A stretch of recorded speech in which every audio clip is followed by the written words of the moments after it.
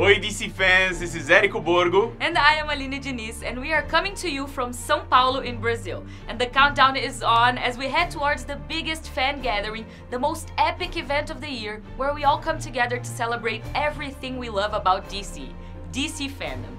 Premiere on Saturday, October 16th at 10 a.m. Pacific on DCFanDome.com.